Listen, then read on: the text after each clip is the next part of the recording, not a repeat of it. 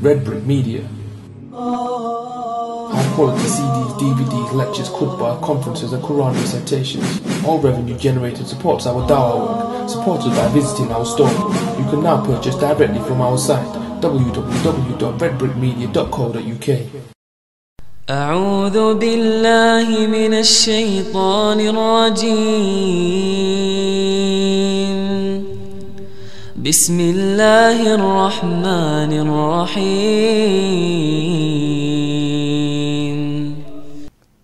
Assalamu alaikum wa rahmatullahi wa barakatuh. A just ruler and a young man who was brought up who grows worshipping Allah Azza wa Jal are among the two that are being or that will be shaded in the shade of Allah on the day of judgment. May Allah make me and you among them. The third one is a man whose heart is attached in the masjids, in the mosques. And what is meant by his heart attached? Definitely, this is not something where you have a person's heart coming out and then you find it in the masjid. This is a figure of speech, which means that the man prays in the masjid, he goes out and he is homesick. He feels homesick. He would not find the tranquility and the peace of mind until he goes back to the masjid and pray again. We know that the Prophet told us والسلام, that the best spots on earth is the masajid. So the best area of land on earth is the masjid, the mosque, where, we where people pray. The Prophet encouraged us والسلام, to attend the masjids, not only for prayer, but even to learn the Quran. And he told us that if you go and learn two ayahs of the Quran or three ayahs in the masjid, that is far greater and much better than if you go and buy camels of the best kinds and sell them and trade of them. The Prophet ﷺ taught us how to deal with the masjid. he taught us the etiquettes of being in a masjid and how to clean them and how to keep them in the best of form. And he told us that those who await prayer after a prayer, then they are similar to those who are in the ribat, those who are on guard in an army between the disbelievers and the Muslims, protecting the Muslims. So if I pray Maghrib, it's an hour and a half until Isha. If I wait in the masjid, then I am being rewarded as if I was on the battlefield. The Prophet ﷺ also told us that in the masjid, where this man's heart is attached, is the quality of a believer. And with it, we know the difference between Islam and hypocrisy.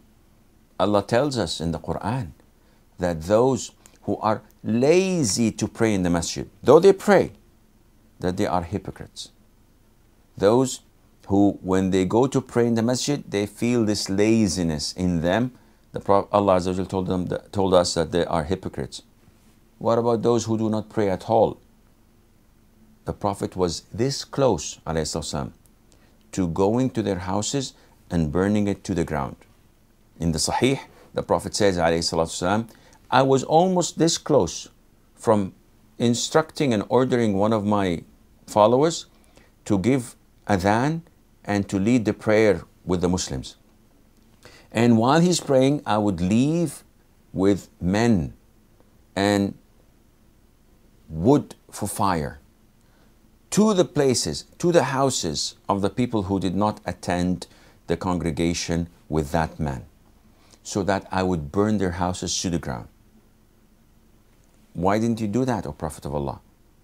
The Prophet said, had it not been for the women and children who were not obliged to pray in the masjid, had it not been for the women and children, I would have done that.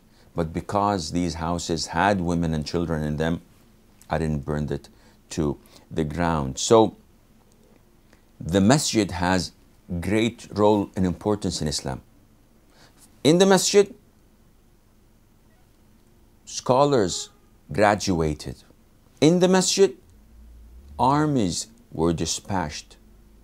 In the masjid, the masjid had the role of a university, a municipality. It, everything happened in the masjid. Nowadays, unfortunately, the masjid has been sidelined. The masjid has been ignored. People, when they come to pray with the congregation, when the Imam says, Assalamu alaikum wa rahmatullah, they jump and they almost reach the gates of the masjid. Assalamu alaikum wa rahmatullah, they are already in their cars. People are so agitated when they are in the masjid, they just want the, the salah to be called and they want to leave the masjid as soon as possible just to get a breather.